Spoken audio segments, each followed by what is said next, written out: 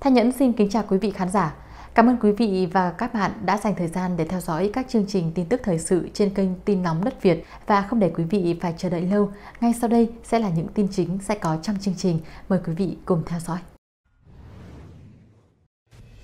Dân trong trường kẻ gian để mắt cán bộ. Thưa quý vị, trả lời chất vấn đại biểu Quốc hội, Bộ trưởng Bộ Công Thương Nguyễn Hồng Diên nhiều lần gửi lời nhờ cử tri, nhân dân tăng cường giám sát các lĩnh vực ngành công thương quản lý, giúp phát hiện, xử lý sai phạm và điều chỉnh bất cập. Dân trong trường được kẻ gian và để mắt đến cán bộ. Ông Diên nói, phiên chất vấn và trả lời chất vấn ngày hôm qua tuy là thực hiện trong khuôn khổ một phiên họp của Ủy ban Thường vụ Quốc hội, nhưng đã được tổ chức với quy mô chưa từng có, như một phiên chất vấn của Quốc hội. Đầu cầu tại phòng họp Diên Hồng đã kết nối trực tuyến đến tất cả các tỉnh thành với sự tham gia của đông đảo đại biểu chuyên trách, đại biểu kiêm nhiệm. Chủ tịch Quốc hội Vương Đình Huệ cho biết, trên cơ sở đề xuất của 54 đoàn đại biểu Quốc hội, các Bộ trưởng Bộ Công Thương và Bộ trưởng Bộ Tài nguyên Môi trường đã được lựa chọn đăng đàn để giải đáp hai vấn đề đang rất nóng trong thời gian qua là xăng dầu và đất đai. Ông khẳng định đây là hình thức giám sát trực tiếp, hiệu quả của Quốc hội, bám sát thực tiễn và hơi thở cuộc sống. Như vậy, với hình thức chất vấn được mở rộng quy mô như lần này, cử tri ngày càng cảm nhận được Quốc hội hoạt động thường xuyên, tăng cường tính đại diện thay vì chỉ xuân thu nhị kỳ như trước. Những vấn đề nóng hổi kịp thời đặt lên bàn nghị sự thì sẽ sớm có cơ hội được trình bày, giải đáp, giải quyết, khắc phục những tồn tại bất cập đang diễn ra trong thực tế, giảm bức xúc xã hội. Những vấn đề đại biểu đặt ra lần này được gạn lọc từ hơi thở cuộc sống rõ ràng đã phản ánh sự bận tâm, lo lắng, chăn trở của hàng triệu cử tri. Giá xăng tăng 7 lần liên tiếp trong các đợt điều chỉnh không những ảnh hưởng đến công tác điều tiết vĩ mô mà còn tác động rộng rãi đến từng bữa ăn của mỗi gia đình. Bộ trưởng khẳng định nguồn cung không bao giờ thiếu, nhưng đại biểu nêu thực tế có những cây xăng treo biển hết hàng. Tại sao vậy? Nếu công tác điều hành trơn tru, không có những mắt xích lỗi, những chiêu trò trục lợi thì hẳn là không nảy sinh ra những bất cập như vậy. Hay trong chính sách quản lý đất đai, đặc biệt là đấu giá, nhiều đại biểu đã điểm danh vụ thủ thiêm để nêu lên các hệ lụy từ việc thổi giá, bỏ cọc, trục lợi, làm náo loạn thị trường, bất ổn xã hội.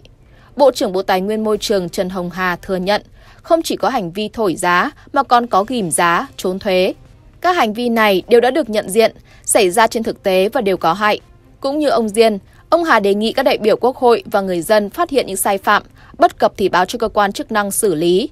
Nếu hai vị bộ trưởng đều mong nhân dân chăm tay ngàn mắt giúp trông chừng kẻ gian, để mắt cán bộ nhằm phát hiện sai phạm, chỉ ra bất cập thì các ông cũng cần thiết lập được những kênh liên lạc hiệu quả và duy trì thường xuyên. Chắc chắn sẽ được người dân trợ giúp tích cực. Cuối cùng, hiệu quả của một phiên chất vấn không nằm ở việc trao đi đổi lại trên nghị trường để nhận diện rõ tồn tại và giải pháp mà phải được thể hiện ở chính sách được sửa đổi, bổ sung cho phù hợp và hiện thực hóa trong cuộc sống. Do vậy, chúng ta cần thời gian để kiểm chứng hiệu quả của phiên chất vấn này. Bộ trưởng Tô Lâm tăng cường xử lý vi phạm buôn lậu, gian lận thương mại. Thưa quý vị, Phát biểu tại phiên chất vấn của Ủy ban Thường vụ Quốc hội sáng 16 tháng 3, Bộ trưởng Bộ Công an Tô Lâm cho biết, Bộ Công an đã phối hợp với các bộ ngành địa phương quyết liệt phòng ngừa, đấu tranh với các hành vi vi phạm pháp luật như buôn lậu, gian lận thương mại. Theo Bộ trưởng Tô Lâm, từ đầu quý 1 năm 2021, giá cả hàng hóa dịch vụ toàn cầu tăng mạnh, nhất là giá cả hàng hóa thiết yếu, nguồn nguyên liệu ảnh hưởng đến sản xuất và xuất khẩu của người dân, doanh nghiệp – từ tháng 2 năm 2022 đến nay, xung đột Nga-Ukraine khiến giá cả nguồn hàng càng khan hiếm hơn, đe dọa đến nền kinh tế toàn cầu và ảnh hưởng sản xuất trong nước. Riêng năm 2021, thống kê có 22 loại hàng hóa tăng giá, nhiều mặt hàng tăng 50% như cà phê, nhôm. Đây cũng là mức tăng giá trong năm lớn nhất kể từ năm 1995 đến nay trên phạm vi toàn cầu. Hiện nay, kinh tế thế giới đang hội tụ những đặc điểm của siêu chu kỳ thứ năm gắn với bốn đặc điểm khác so với chu kỳ tăng giá trước đây.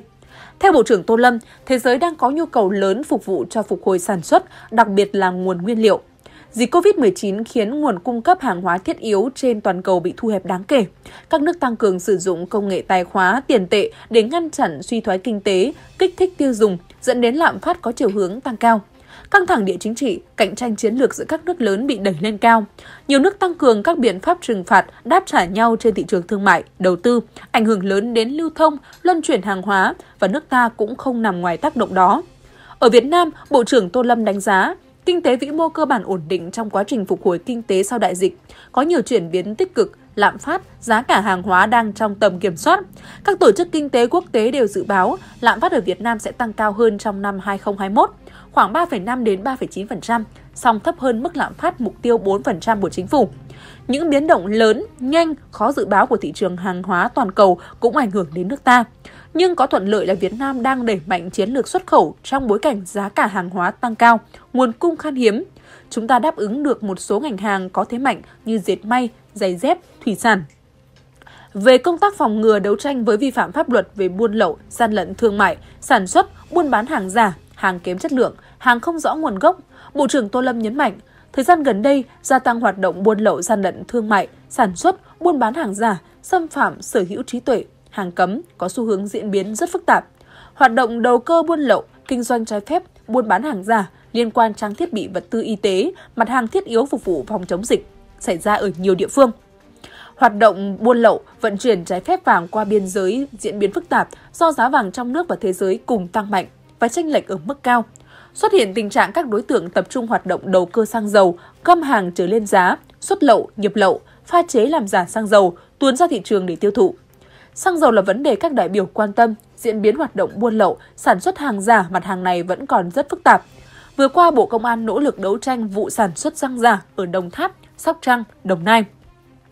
Từ buôn lậu dẫn đến trốn thuế, giá xăng lậu chênh lệch với hàng chính thức rất nhiều, gây thiệt hại cho nhập khẩu chính thức, lại càng kích thích các đối tượng buôn lậu, sản xuất xăng giả, xảy ra tình trạng ô tô xe máy đi trên đường tự nhiên bốc cháy.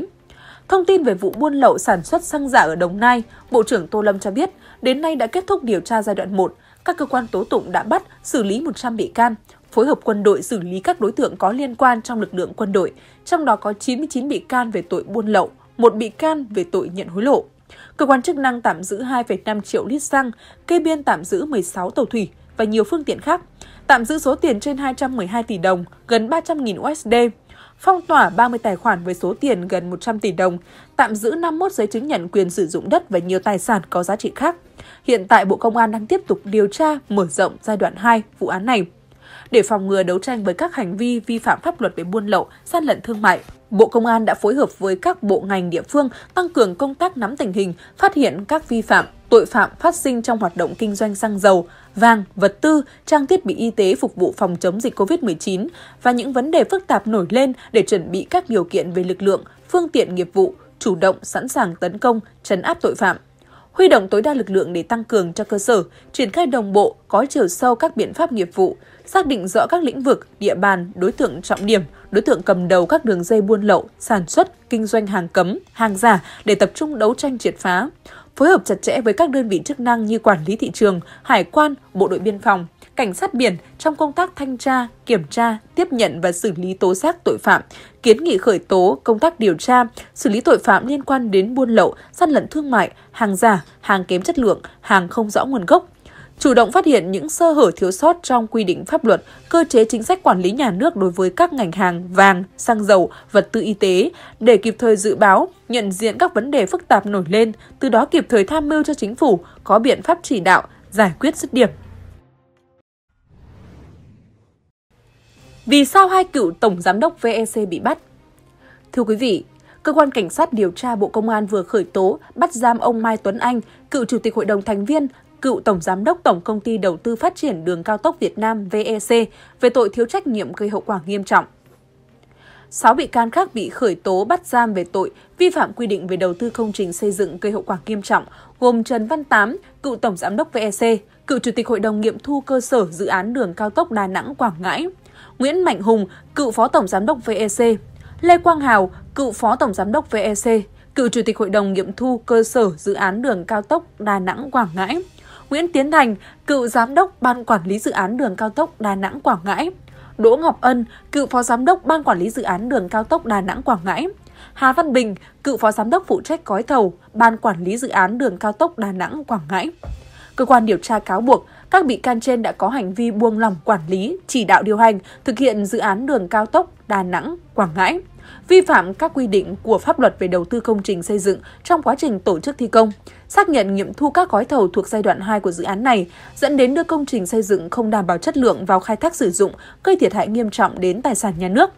Tại giai đoạn 1 của vụ án, cựu Phó Tổng Giám đốc VEC Nguyễn Mạnh Hùng bị tuyên phạt 7 năm tù. Ông Lê Quang Hào nhận 6 năm tù cùng với tội vi phạm quy định về đầu tư công trình xây dựng gây hậu quả nghiêm trọng. 33 bị cáo khác trong vụ án bị tuyên phạt từ 24 tháng tù hưởng án treo đến 8 năm 6 tháng tù. Quá trình điều tra vụ án ở giai đoạn 1, cơ quan tố tụng xác định ông Mai Tuấn Anh giữ chức vụ Tổng Giám đốc VEC từ ngày 1 tháng 4 năm 2011 đến ngày 31 tháng 5 năm 2017. Chủ tịch Hội đồng thành viên VEC từ ngày 31 tháng 5 năm 2017 đến ngày 28 tháng 8 năm 2020. Với vai trò là Tổng Giám đốc điều hành hoạt động của VEC, ông Mai Tuấn Anh đã không kiểm tra giám sát không thực hiện đúng chỉ đạo và báo cáo Bộ Giao thông Vận tải liên quan đến yêu cầu kiểm soát chặt chẽ phương án khắc phục nguồn vật liệu từ các mỏ đá kém chất lượng của dự án, có dấu hiệu thiếu trách nhiệm trong công tác, ảnh hưởng đến chất lượng công trình xây dựng không đảm bảo. Cơ quan tố tụng cho rằng ông Mai Tuấn Anh còn liên quan đến giai đoạn 2 của dự án đang tiến hành giám định chất lượng công trình xây dựng. Do vậy để đánh giá, xem xét xử lý, cơ quan cảnh sát điều tra Bộ Công an quyết định tách hành vi liên quan đến các sai phạm có dấu hiệu thiếu trách nhiệm của ông Mai Tuấn Anh để xử lý trong giai đoạn 2 của vụ án. Đối với ông Trần Văn Tám, Tổng Giám đốc VEC từ ngày 1 tháng 6 năm 2017 đến ngày 28 tháng 8 năm 2020, cơ quan điều tra xác định ông Tám được bổ nhiệm làm Tổng Giám đốc VEC khi giai đoạn 1 của dự án, đoạn 65 km vốn Zika, được nghiệm thu cơ sở và đưa vào sử dụng. Trong thời gian này, dự án được phân công cho ông Lê Quang Hào, Phó Tổng Giám đốc phụ trách. Với vai trò là Tổng Giám đốc, ông Trần Văn Tám có phần trách nhiệm là người đứng đầu, không kịp thời phát hiện, ngăn chặn hành vi vi phạm pháp luật của cấp dưới, nhưng chưa đến mức để xem xét trách nhiệm hình sự đối với ông Trần Văn Tám trong giai đoạn 1 của dự án. Cơ quan tố tụng xác định bản thân ông Tám có liên quan đến quá trình thực hiện giai đoạn 2 của dự án đường cao tốc Đà Nẵng Quảng Ngãi, 75 km sử dụng vốn vay của World Bank với vai trò là lãnh đạo VEC phụ trách trực tiếp, đồng thời là chủ tịch hội đồng nghiệm thu cơ sở dự án nên sẽ được xem xét trách nhiệm trong giai đoạn 2 của vụ án. Chú tâm bình ổn giá. Thưa quý vị, mới đây, chủ trì cuộc họp về công tác điều hành giá một số mặt hàng quan trọng, thiết yếu, Phó Thủ tướng Lê Minh Khái lưu ý các bộ, ngành, địa phương phải theo dõi sát diễn biến thị trường, đánh giá đúng tình hình để đảm bảo đủ nguồn cung đối với từng mặt hàng cụ thể. Tuyệt đối không được để xảy ra tình trạng khan hàng ảo khiến dư luận phản ứng.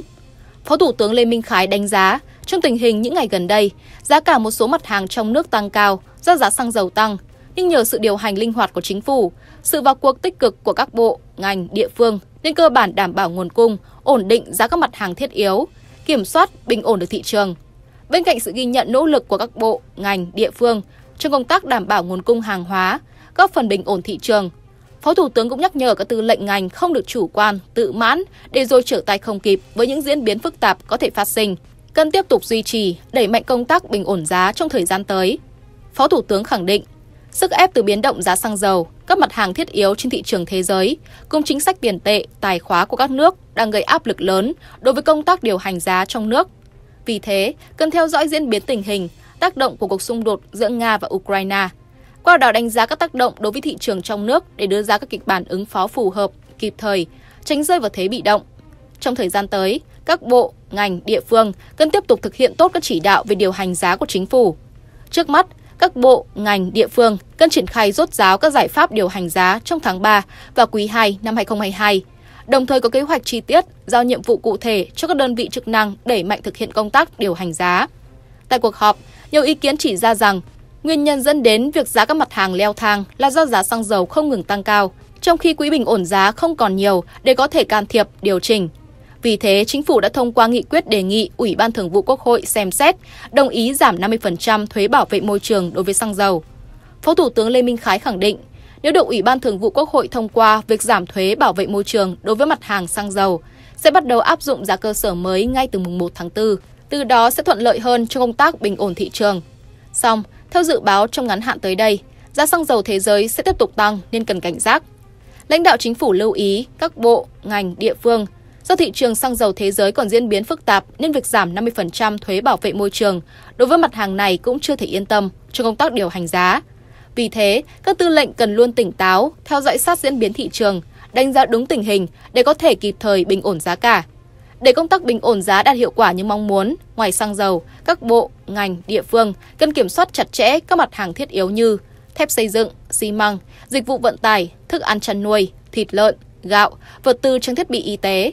thường xuyên kiểm tra, giám sát, kiên quyết xử lý nghiêm hành vi đầu cơ găm hàng, nâng giá bán trục lợi. Phó Thủ tướng Lê Minh Khái nhấn mạnh, đối với các mặt hàng nhà nước định giá, trước mắt trong thời điểm hiện tại không xem xét tăng giá bất cứ loại hàng hóa nào, đặc biệt là các dịch vụ công. Nếu cần, các bộ, ngành chuẩn bị sẵn các phương án để xem xét điều chỉnh giá vào thời điểm thích hợp. Các bộ, ngành địa phương cần chú tâm vào công tác bình ổn giá mới có thể kiểm soát được thị trường, kiềm chế lạm phát hiệu quả. Hậu Covid-19, mệt mỏi, khó thở, khi nào cần đi khám? Thưa quý vị, ba di chứng hậu COVID-19 phổ biến nhất là mệt mỏi, khó thở và rối loạn chức năng nhận thức. Nếu sau 6 đến 8 tuần các triệu chứng này không hết thì người bệnh nên đi khám. Hậu COVID-19 là tình trạng xảy ra ở những người có tiền sử nhiễm bệnh với các triệu chứng và kéo dài ít nhất 3 tuần mà không thể giải thích bằng chẩn đoán thay thế. Tình trạng này có thể khiến sức khỏe người bệnh bị suy giảm kéo dài, có tác động nghiêm trọng đến khả năng quay trở lại làm việc hoặc tham gia cuộc sống xã hội.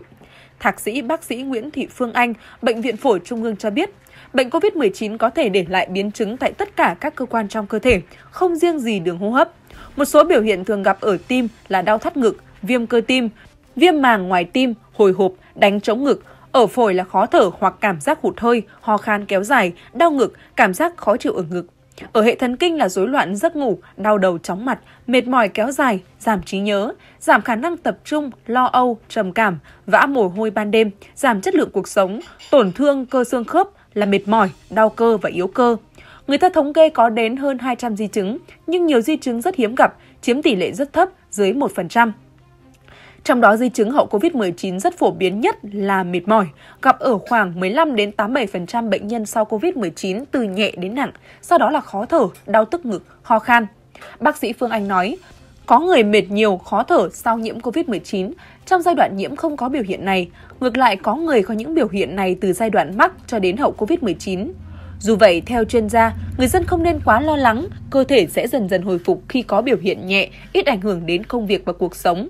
Hiện nay trên thực tế, rất nhiều người quá lo lắng về hậu COVID-19, cứ nghĩ mình bị hậu COVID-19 nhưng đi khám thì các xét nghiệm hoàn toàn bình thường. WHO khuyến cáo sau 6 đến 8 tuần nếu các biểu hiện không hết hoặc nặng hơn thì mới gọi là hậu COVID-19. Ngoài ra không phải ai sau nhiễm cũng bị hậu COVID-19. Tình trạng này thường gặp trên đối tượng người cao tuổi, người có bệnh nền. Với người có sẵn bệnh nền như tim mạch, tiểu đường, đặc biệt là hô hấp, bệnh phổi, tắc nghẽn, mạn tính, viêm phế quản mạn, nếu mắc COVID-19 có thể sẽ khiến tổn thương vốn có của họ càng trở nên nặng hơn. Bác sĩ Phương Anh cho biết thêm, trên thực tế, một số người có biểu hiện ho sau mắc COVID-19 đi khám hậu COVID-19 thì phát hiện lao phổi. Nước ta là nước có tỷ lệ mắc lao cao trên thế giới. Vì vậy, người dân có biểu hiện ho khạc đờm trên 2 tuần, sốt về chiều, da mồ hôi trộm, gây sút cân cần đi khám chuyên khoa hô hấp để phát hiện sớm lao phổi ngoài khám hậu COVID-19. Cũng theo tiến sĩ Janet Diaz, trưởng nhóm quản lý lâm sàng, Tổ chức Y tế Thế giới, có 3 di chứng hậu COVID-19 rất phổ biến, đó là mệt mỏi, khó thở và rối loạn chức năng nhận thức. Triệu chứng hậu COVID-19 thường kéo dài 2 tháng. Nếu tình trạng này biến mất sau một tuần, vài tuần hoặc một tháng, thì WHO không coi đó là di chứng COVID-19 kéo dài. Bác sĩ khuyên người bệnh cần giữ tinh thần thật thoải mái, không nên suy nghĩ nhiều, thay vào đó tập thể dục, tập hít thở và sau khi khỏi COVID-19 vẫn tiếp tục tập thể dục và tập hít thở. Cụ thể, tập các kiểu thở, tập thở trúm môi, tập thở cơ hoành, tập dưỡng sinh. Các kỹ thuật tập vận động là cần thiết, tuy nhiên cần tăng dần cường độ và thời gian tùy khả năng của mỗi người. Nếu người nhiễm COVID-19 có tiết nhiều đờm thì bổ sung các kỹ thuật thở chu kỳ chủ động và kỹ thuật ho hữu hiệu. Theo bác sĩ Phương Anh, bài tập thở này rất tốt cho hô hấp của bệnh nhân COVID-19. Virus SARS-CoV-2 tấn công chính vào phổi, vì thế việc chú trọng phục hồi chức năng hô hấp là rất quan trọng. Trong giai đoạn mắc bệnh và cả giai đoạn hậu COVID-19, dù bệnh thì bệnh nhân cũng nên duy trì các bài tập thở này, ít nhất là 15 phút mỗi ngày. Nếu sau 6 đến 8 tuần các triệu chứng như khó thở, mệt mỏi không hết thì nên đi khám.